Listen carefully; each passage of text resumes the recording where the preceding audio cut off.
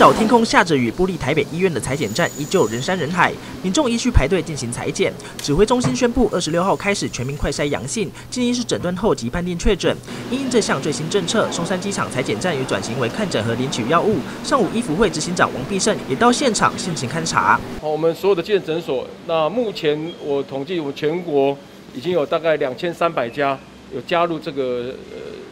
快筛阳这个看诊哦，就确诊的这个部分。除了社区筛检站之外，王必胜也透露，目前国内约两千三百家诊所投入快筛阳视同确诊的诊断。那从什么时候开始不舒服的？前天是不是？医生视讯看诊确认身份，给快筛阳民众进行诊断上路的第一天，不少民众预约视讯看诊，但是这一来一往所耗费的时间也不少。普通如果是都会型的人士，哦，就是都很了解的。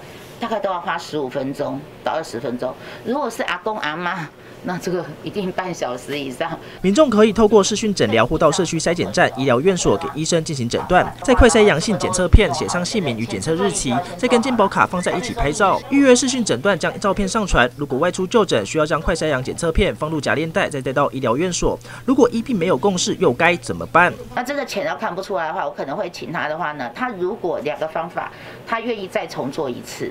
好快筛，或者呢他就直接去医院做 PCR。